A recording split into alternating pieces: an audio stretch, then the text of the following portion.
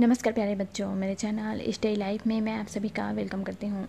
मैं आज आप लोगों के लिए रक्त संबंधी एक प्रश्न लेकर आई हूँ।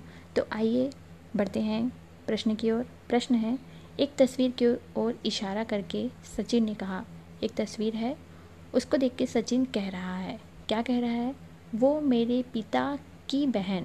अब पिता की बहन क्या होगी?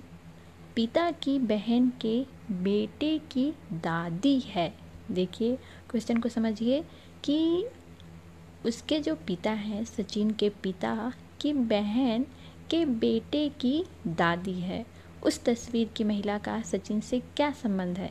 तो नीचे कमेंट सेक्शन में ज़रूर बताइएगा कि यह रिश्ता जो है वो क्या होगा। धन्यवाद।